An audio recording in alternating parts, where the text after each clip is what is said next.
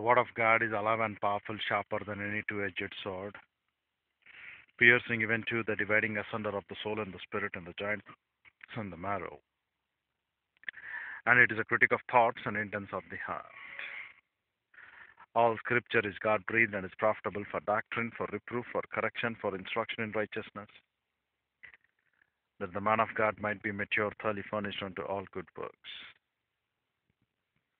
Study to show thyself approved unto God, a workman that needeth not to be ashamed, rightly dividing the word of truth, or accurately handling the word of truth. Dear brethren, in today's Christendom, we think it would be given for God the tithes or offerings or sacrifices of our own self, and think that if God could be pleased with these things, and if I am doing right things in the sight of Lord, some good works in the sight of Lord, then I will be having the peace of mind. Dear brethren, this is what the legalistical trends of the people teach to you.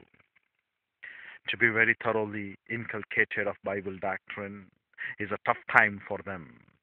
They think those who are going for the ministry, they are the people they have to learn about this. But the one who are really available for Bible doctrine have to be every member of the believer of that great royal family of God who believes in Christ have to be applicable to know this truth. Wrongly dividing the word of truth and not able to really understand what is that the true peace of God which shall be with you requires what that you learn first and then you accept it when you hear and you perceive and thus four things are not been possible for you. That is to learn and accept when you hear and perceive and you be practicing what you have learned and what you have accepted then the peace of god shall surpass all your understanding and shall be with you. And this is the true peace which bible doctrine tells to us. So apostle paul tells in philippians 4 9 the point which you learned and you accepted after hearing when you perceived it in me these things so that when you're practicing about this, the God of peace shall be with you. It is not that I follow some XYZ rituals without reality and thinking that the God of peace will be with me because I have told for you, your days have been come to an end, your sorrow days have been gone, and now you will be glad in the Lord is an absolutely sure out of a lie. You need to learn and need to accept when you hear and when you perceive the things pertaining to this unique spiritual life, pertaining to that great Lord, because now in this church age the battle has been intensified, the angelic conflict has shifted the gears, and Satan knows very well that its doom of destruction has been absolutely sure, and it wants to see that though you have been positionally sanctified, superior to be then to the chief fallen angel known as Satan, experientially your sanctification process demands a day by day growth, a day by day work, a day by day procedure. And this day by day procedure, if it is not been taken, you have we have gone the battle and you have lost it out. And that's what Satan can do to you the better. And that is the great problem that is happening around in our pulpits and in our churches today. Not able to understand that apostasy is a place where the region of rejection of Bible doctrine can be happening, and the pulpit is the place where apostasy can be taken to birth, and pulpit is the place where apostasy can be made an end. And this is of a great importance that you and I have to note. This is of a great reality that you and I have to learn. But what is happening today in our day by day process? We are not capable of understanding these simple truths. Why? Wrongly dividing the word of truth, falling into popery. And this popery has become a great realm of satanic core. That's why our Protestant fathers have come out by taking out with the Reformation movement and try to give you the Bible in your hands so that God, in His due course of time, can send the key people who can rightly divide the word of the Lord and to inculcate for you. But rather, you have rejected to know this great peace of God by rejecting to expose yourself to Bible teaching in a day by day process. You have changed the course by weekly once rather than it should be for you weekly once a rest and seven days of time of work every day at least one hour you have to take the teaching from a pastor teacher at least whichever time it is applicable for you evening 5.30 6.30 or 7.30 or 8.30 It is better for you to take in the morning time because as goes the doctrine in your mind to control your mind, so goes your soul, so goes your thinking, and so goes the client nation. And that is what you and I have to be into this great royal family of God to give number one priority for the word of the Lord. How can you really come back to the things to learn and accept which you have not heard and which you have not perceived? How can you hear until unless you have a circumcised ear to understand Bible doctrine, a circumcised heart to take into Bible doctrine, and to have that circumcised heart and ear, it requires the privacy of your priesthood to take responsibility for your own decisions and get back into the fellowship of Lord God Almighty. How can you do that? You cannot do that until and unless you take number one priority for Bible doctrine. You cannot and you can never do that. You may be happy to think and to consider about those things which your mind can conceive to the greatest. But you cannot do that, dear brother, and take it granted. You have really a tough time to go through. If you think you can have the peace of mind, even as such many people quote uh, Deuteronomy chapter 28, verses 1 through 14, telling that you will be the head, you will be the ruler, but they're forgetting the conditions if, followed by the condition there. If you follow in my word, if you be faithful to my truth, then only you are going to be the head and not the tail.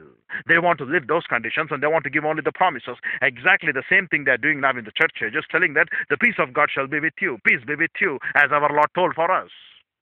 But you're not able to understand. To have that peace, you need to learn.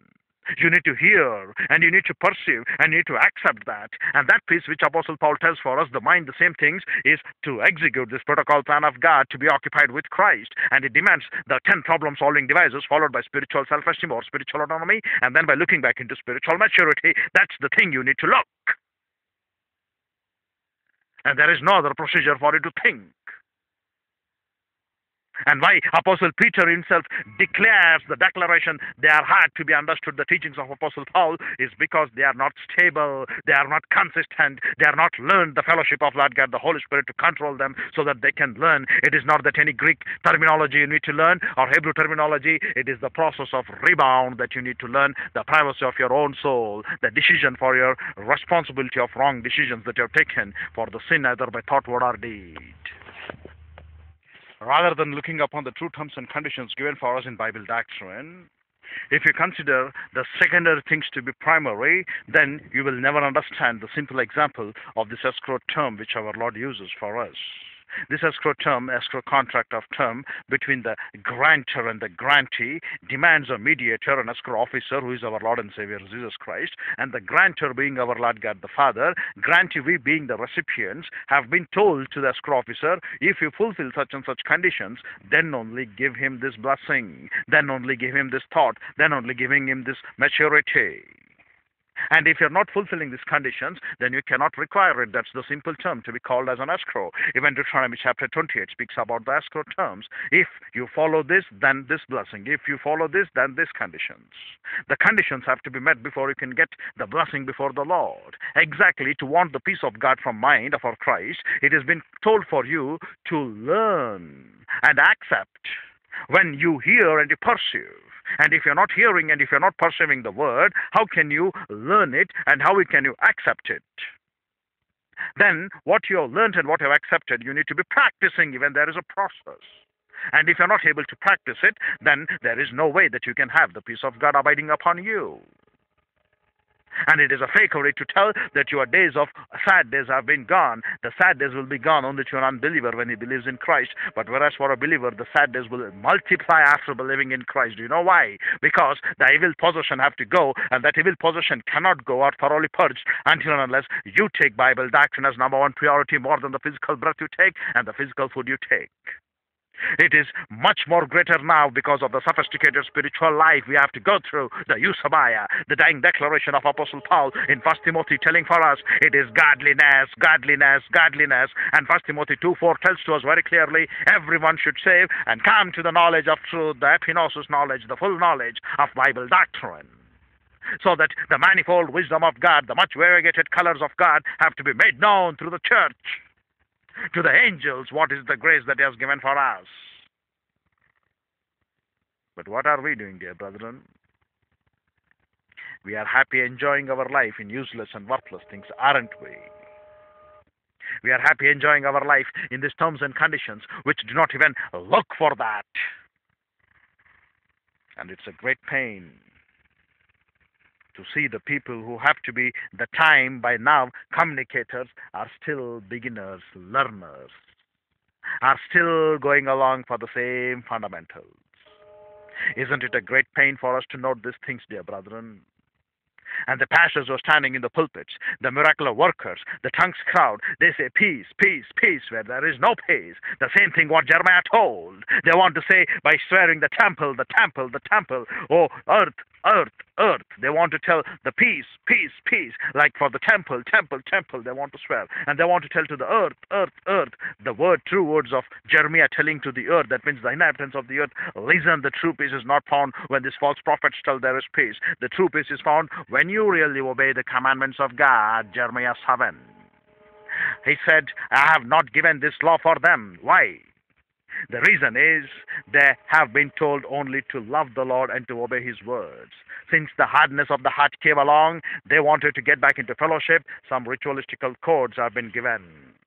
But prior to that, what was the condition? Hear and obey. That's the simple condition. What our Lord has given to Adam as well in the Garden of Eden. But they failed. As such, when we are failing today to hear and to fail, we are not exposing ourselves to learn doctrine, ignorance, arrogance, cognizance towards the lust patterns, indifference towards the pastor teacher who is teaching to you, failure to expose yourself, your negative attitudes towards doctrine to come daily one hour. The trends of the church have to be changed totally. It is not weekly one Sunday you get to the church. It has to be every day you get to the church and Sunday you take rest. Exact pattern what our Lord followed renovation of this earth in six days, literally, and the seventh day taken rest. The same procedure should happen to you so that you can renovate your soul in a day by day process after believing in Christ. The restoration work we need to learn, we need to tell. Does not the Bible tell for us every day the renovation of your thinking has been required? Does not the Bible teach for you every day your grace has been renewed? Does the Lord say, weekly once I am going to renew your grace upon you? No. Lamentations 3.21 quotes, every day his mercies are great. They are renewed day after day. What else do we require, dear brothers?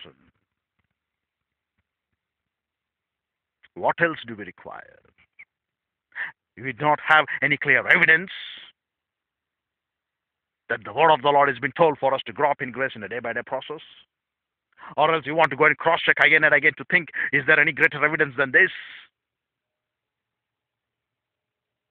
Until and unless you take priority number one for Bible doctrine, the peace of God shall not come upon thee. Take it granted. Until and unless you take by the mental ministry of Lord God the Holy Spirit and disturb your soul with Bible doctrine, you cannot have your sound healing to your body as well as to the soul. In John 5 4, we note the angel of the Lord coming once. And they were constantly eagerly waiting for that angel of the Lord to appear so that they could have their healing to be done.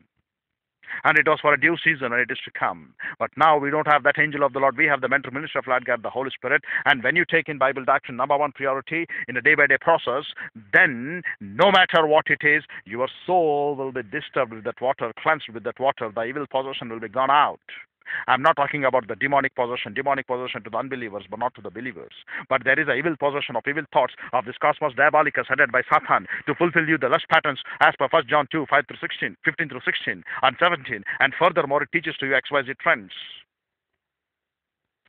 Christian moral degeneracy, Christian immoral degeneracy, self-righteousness, indulgence, and self-indulgence of arrogance attitude to correct yourself trends towards legalism and trends towards lasciviousness or antinomianism. That is what it is going to happen. That's what the evil is. And that evil has to be thoroughly cleansed out day by day process. And dear brethren, this is what you and I have to look. To have the peace of God, you need to learn and you need to accept. When you hear and when you perceive. After hearing and perceiving, you need to practice them what you have learned. And if you're not learning, you have lost it. You have gone to it. Dear brethren, ponder over these things as we shall continue in the next tip. If you want to have the peace of God, learn Bible doctrine, know the unique spiritual life, know the trends of spiritual self-esteem or spiritual autonomy, and then by spiritual maturity. Look back to the privileges of Bible doctrine and learn and apply to the truth. And if you're not, Lord help you. We shall continue in the next tape.